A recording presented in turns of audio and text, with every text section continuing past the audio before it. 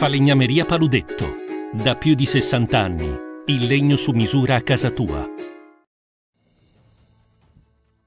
TG Plus News edizione di Venezia, buongiorno. Apriamo il nostro notiziario con la cronaca. Stava andando a funghi ieri nella zona sopra Colmean, in provincia di Belluno, quando Claudio Rampazzo, 67 anni e residente a Mestre, nel primo pomeriggio si è sentito improvvisamente male. L'uomo è riuscito a mettersi in contatto con i soccorritori dando loro le indicazioni per riuscire a individuarlo.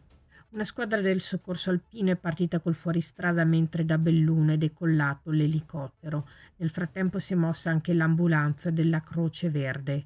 Purtroppo però mentre sono arrivati i sanitari le condizioni dell'uomo si sono aggravate all'improvviso e malgrado le manovre per rianimarlo che si sono protratte a lungo per il 67enne non c'è stato nulla da fare e ne è stato dichiarato il decesso. Sul posto sono giunti anche i carabinieri.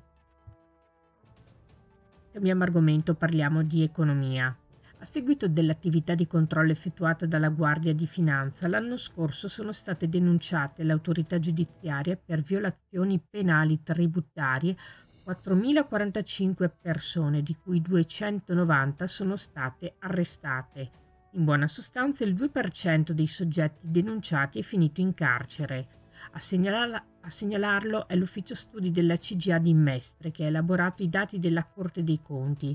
Dal 2011 emerge che il numero assoluto dei denunciati è rimasto pressoché stabile, mentre gli arresti, dopo il minimo storico toccato nel 2016, 99, hanno raggiunto il picco massimo nel 2021 con 411, per poi scendere di 121 casi nel 2022, 290 appunto.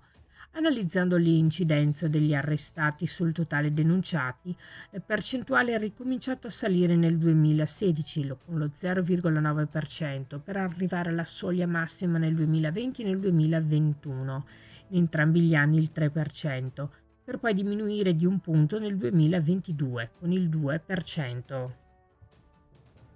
Maltempo.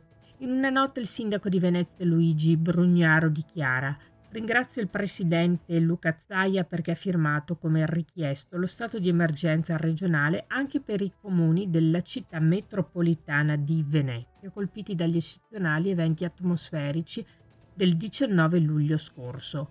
Questi fenomeni meteorologici eccezionali, continua Brugnaro, sono sempre più frequenti. Sono effetti dei cambiamenti climatici che vanno gestiti.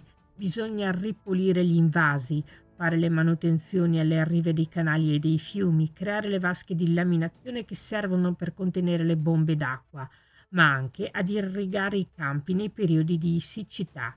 È fondamentale guardare in faccia quanto succede perché con l'applicazione della scienza e della tecnica non ci dobbiamo far trovare impreparati. Bisogna pensare, conclude, alla messa in sicurezza del territorio dove vivono le nostre famiglie sono attive le nostre imprese che creano lavoro. Voltiamo pagina.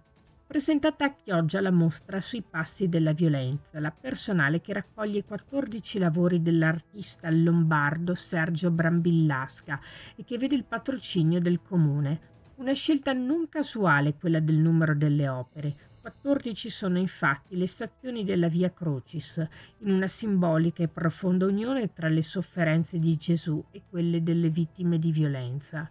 L'esposizione vuole lanciare un forte messaggio contro ogni forma di violenza e allo stesso tempo di denuncia contro l'indifferenza che spesso circonda chi subisce i soprusi, vittime due volte la mostra è a cura dell'UNAVI, Unione Nazionale Vittime, e sarà visitabile alla Galleria d'Arte Sergio Brambillasca, sottomarina in via San Marco 12, da oggi 22 al 30 luglio 2023. Era questa la nostra ultima notizia. Grazie per essere stati con noi. Arrivederci. Falegnameria Paludetto. Da più di 60 anni. Il legno su misura a casa tua